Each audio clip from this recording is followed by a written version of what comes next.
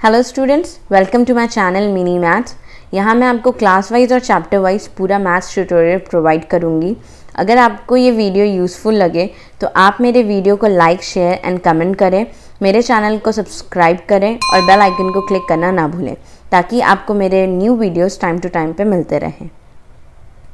Welcome in question number six of exercise 3.2 तो हम देखते हैं क्वेश्चन नंबर सिक्स अब यहाँ पे, क्या बोल रहा है question number six given the linear equation this हमें एक लीनियर इक्वेशन गिवन है plus three y minus eight equals to zero ये गिवन है। Right another linear equation in two variables हमें क्या बोल रहा है, एक और linear equation in two variables लिखो such that the geometrical representation of a pair so formed is okay first intersecting के लिए intersecting के लिए हमें पता है कि क्या होता है a1 by a2 is not equals to b1 by b2 तो हमें एक ऐसा इक्वेशन लिखने की ज़रूरत है जो a1 by a2 और b1 by b2 को इक्वल ना करे ओके तो सपोज़ मैं लिख दूँ यहाँ पे इक्वेशन x मतलब a1 a2 इक्वल नहीं होना चाहिए ओके okay?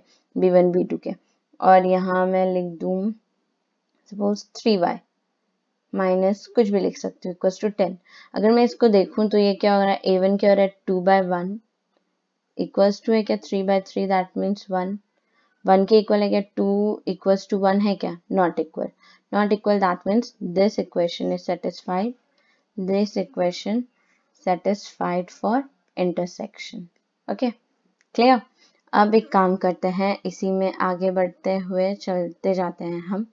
अब हम करते हैं पैरल लाइंस के लिए। पैरल लाइंस के लिए हमें पता है इक्वेशन क्या होता है? A one by a two equals to b one by b two but not equals to c one by c two ये होना चाहिए ओके? हमारे पास इक्वेशन क्या है? Two x plus three y minus eight equals to zero अब हम equation कौन सा लें? अब हम इक्वेशन ले लें अगर ए वन ए टू और b one b two equal होना चाहिए तो फोर एक्स और इधर क्या ले लूँ मैं? सिक्स वाई ओके और ये कुछ भी ले लो जो इक्वल ना हो।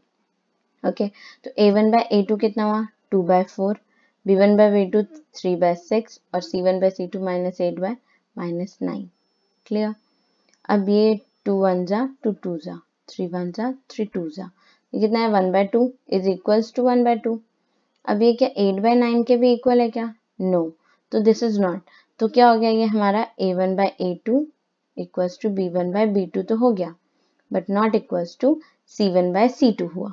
Okay, that means this satisfied for the parallel line. Clear?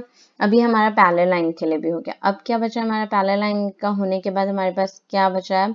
अब बचा है कोइंसिडेंट लाइन अब हमको पता है कि कोइंसिडेंट लाइन के लिए हमारे पास इक्वेशन क्या होता है? A one by a two equals to b one by b two equals to c one by c two ये होता है?